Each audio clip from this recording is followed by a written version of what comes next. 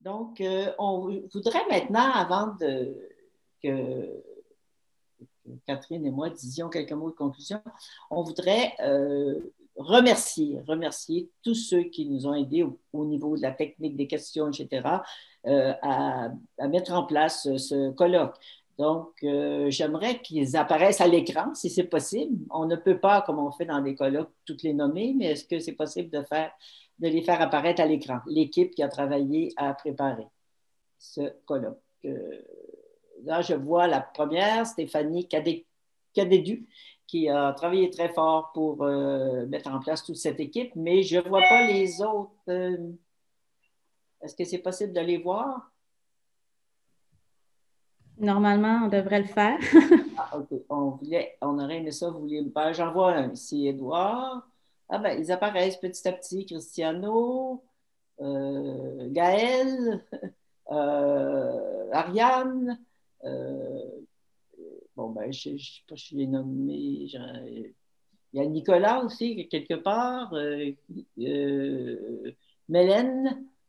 Mélène, je pense que je les ai toutes nommées. Si j'ai oublié quelqu'un, vous me le dites, non? Alors, écoutez, c'est tous ces gens-là qui, euh, pilotés par Stéphanie Cadédu, qui ont préparé et répondu à nos multiples questions de Catherine et moi qui euh, se réveillons la nuit pour dire Oups, qui va répondre aux questions, comment on va faire ça? Alors, tous ces gens-là qui étaient plutôt plus calmes que nous ont tout planifié. Je pense que la technique, ça a très bien fonctionné. Alors, merci à vous toutes et tous.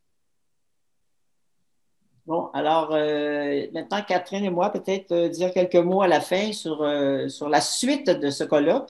Euh, peut-être un autre colloque pour faire la suite de la pandémie et la suite sur nos idées, mais plus particulièrement, on voudrait préparer un livre blanc qui euh, va ramasser les textes et peut-être les questions auxquelles euh, nous n'avons pas pu répondre.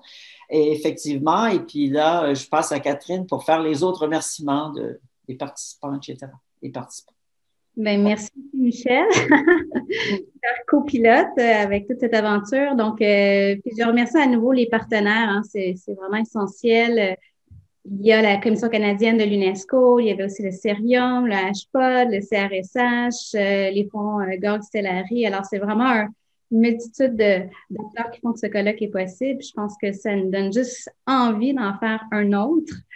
Euh, même si c'est costaud organisé, les, fruits clairement sont, au rendez-vous. Alors, euh, merci, merci à tout le monde, merci aux participants, les questions. On n'a pas eu malheureusement le temps de tout poser, tout poser des questions, mais elles ont vraiment été colligées, puis ça va euh, servir à alimenter notre réflexion pour le livre blanc. Peut-être définir aussi les pistes du prochain colloque. Alors, un grand, grand merci à tout le monde.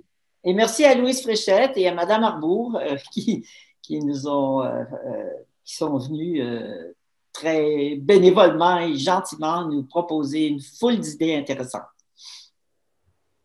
Donc euh, voilà, euh, on se dit au revoir. Merci. Au revoir, à la prochaine.